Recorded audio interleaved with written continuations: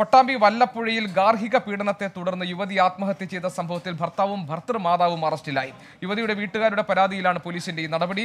ഈ മാസം ഇരുപത്തിയഞ്ചിനാണ് പതിയപ്പാറ വീട്ടിൽ അഞ്ജന ആത്മഹത്യയ്ക്ക് ശ്രമിച്ചത്. ചികിത്സയിൽ തുടരുന്നതിനിടെ നാല് ദിവസത്തിന് ശേഷമാണ് അഞ്ജനയുടെ മരണം സംഭവിച്ചത്. ഭർത്തൃ വീട്ടുകാർ സ്ഥിരമായി മർദ്ദിക്കാറുണ്ടെന്ന് അഞ്ജന വീട്ടുകാരോട് പരാതിപ്പെട്ടിരുന്നതായി സൂചനകളുണ്ട്. നിഖിൽ പ്രമേഷ് പാലക്കാട്ട് നിന്ന് വിവരങ്ങൾ നൽകും. നിഖിൽ ഈ ഗാർഹിക പീഡനത്തെ തുടർന്നാണ് അഞ്ജനയുടെ മരണം സംഭവിച്ചതെന്നും അത് ഈ സ്ത്രീധനത്തിന്റെ പേരിലാണ് ഈ ഗാർഹിക പീഡനം ഉണ്ടായിരുന്നതെന്നും വ്യക്തമായിട്ടുണ്ടോ? തെളിഞ്ഞിട്ടുണ്ടോ?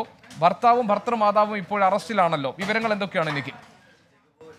ഗോപികൃഷ്ണൻ സ്ത്രീധന തുക പൂർണമായി നൽകാത്തതിനെ തുടർന്ന് തനിക്ക് ഭർത്തൃഗൃഹത്തിൽ നിന്ന് ഭർത്താവിന്റെയും അവരുടെ അമ്മയുടെയും ഭാഗത്തു നിന്ന് പീഡനങ്ങൾ ഏൽക്കേണ്ടി വന്നിട്ടുണ്ട് എന്ന് നേരത്തെ തന്നെ അഞ്ജന ബന്ധുക്കളെ അറിയിച്ചിരുന്നു.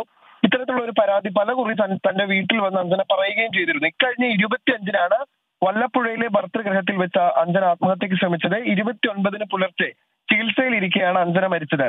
ഇതിന് പിന്നാലെ അഞ്ജനയുടെ പിതാവ് പാട്ടാമ്പി പോലീസിൽ നൽകിയ പരാതിയിൽ ഷൊർണൂർ ഡിവൈഎസ്പിയുടെ നേതൃത്വത്തിൽ അന്വേഷണം പുരോഗമിക്കുകയായിരുന്നു.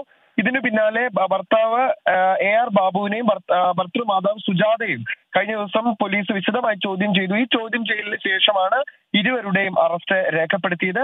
സ്ത്രീധന തുക വാഗ്ദാനം ചെയ്ത സ്ത്രീധന തുക പൂർണമായി നൽകാത്തതിനെ തുടർന്ന് പലതരത്തിലുള്ള മാനസിക സമ്മർദ്ദവും അഞ്ജനയ്ക്ക് ഈ ഭർത്തൃഗ്രഹത്തിൽ നിന്ന് അനുഭവിക്കേണ്ടി വന്നിട്ടുണ്ട് എന്നാണ് ഇവരുടെ ബന്ധുക്കൾ പറയുന്നത്. അവരോട് അഞ്ജന പറഞ്ഞിരുന്നത് ആ തരത്തിലായിരുന്നു. എന്തായാലും ഇരുവരുടെയും അറസ്റ്റ് ഇതിനോടകം തന്നെ പട്ടാമ്പി പോലീസ് രേഖപ്പെടുത്തി കഴിഞ്ഞു. പ്രതികളെ ഇന്ന് ആലത്തൂർ കോടതിയിൽ പോലീസ് ഹാജരാക്കും.